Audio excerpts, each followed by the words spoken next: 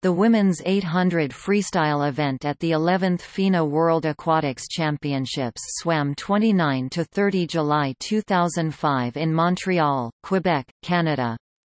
Preliminary heats were held in the championship's morning session on 29 July, with the top eight finishers advancing to swim again in the event's final on 30 July. At the start of the event, the existing World WR and Championships CR records were WR 8 minutes 16 seconds and 22 milliseconds. Janet Evans, USA, swum the 20th of August 1989 in Tokyo, Japan.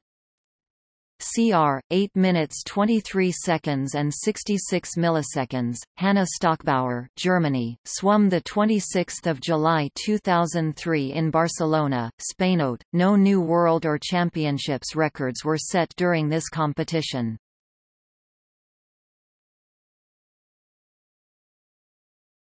Topic. Results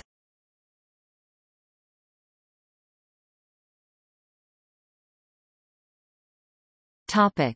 Preliminary heats equals equals equals final heat